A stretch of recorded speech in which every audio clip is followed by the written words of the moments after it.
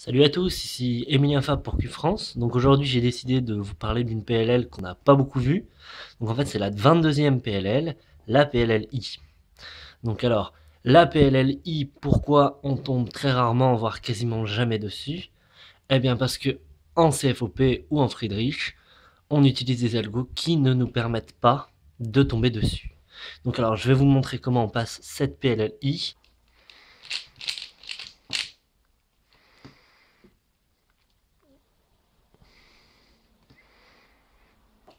Donc voilà, hein, on obtient une PLLI, donc c'est pas mal, c'est assez difficile à maîtriser, donc là c'est une vidéo d'introduction bien entendu, hein.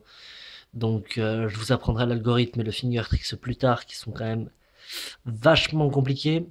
Donc voilà, alors après quelle utilité pour cette PLLI Eh bien, elle peut vous servir notamment à résoudre la double parité, la double parité sur un 3-3, et je vais vous montrer là, juste après la double parité, comment l'utiliser cette PLLI sur un 4x4.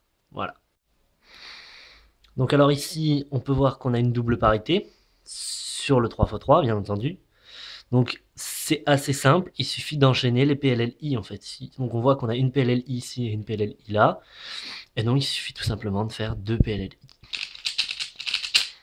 Et voilà, le cube est résolu. Pas trop de problème pour la double parité. Maintenant, on va passer à la PLLI sur un 4x4. Alors bon, 4 x 4, hein, je pense que vous connaissez. Donc on va tout simplement exécuter une PLLI et voir ce que ça fait sur un cube pair.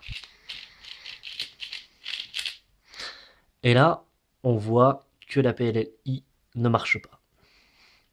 Hein, on voit clairement que au-dessus c'est bon, mais ça nous fait une PLLI en dessous.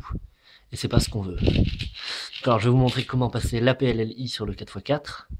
Donc alors il suffit d'utiliser cette tranche là en fait, la tranche interne. Hein. Voilà, et là on obtient bien une PLLI. Je recommence. Et là on voit bien qu'on n'a rien d'autre de modifié. Hein. Et qu'on a juste la PLLI. C'est tout pour cette introduction sur la PLLI. N'oubliez pas d'aimer, de partager cette vidéo.